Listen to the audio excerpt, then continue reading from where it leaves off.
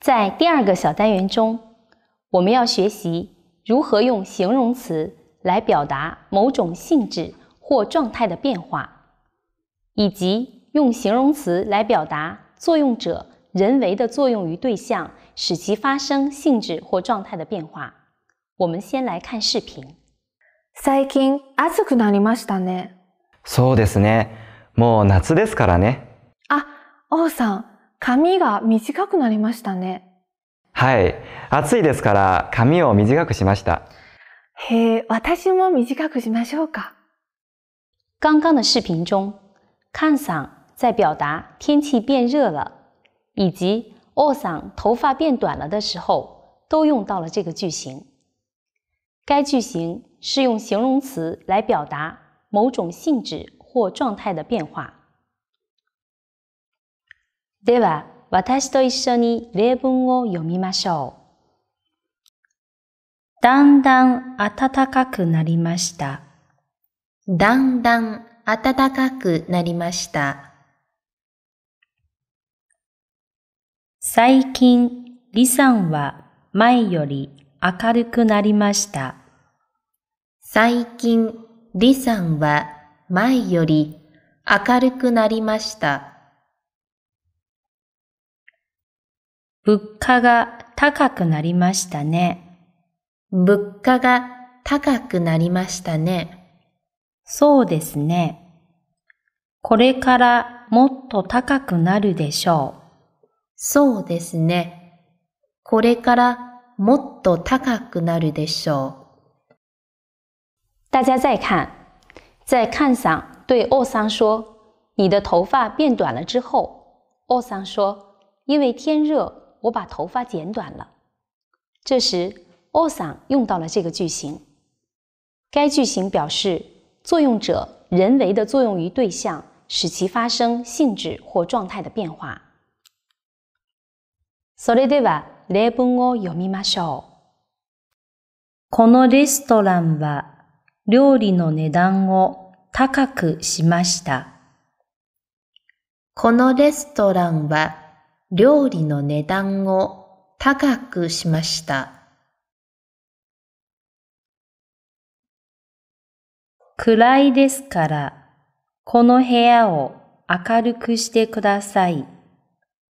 暗いですから、この部屋を明るくしてください。あの、話し声をもっと小さくしてくださいませんか？あの、話し声をもっと小さくしてくださいませんか？あ、どうもすみません。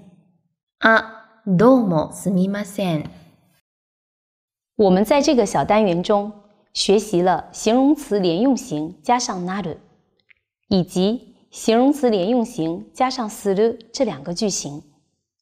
结合第一个小单元中学习过的成对自动词和他动词的相关知识，我们再来思考一下。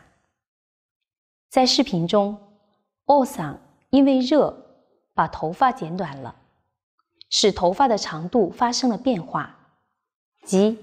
卡米奥米吉卡格西马西达，其变化的结果就是头发变短了，即卡米嘎米吉卡格纳里马西达。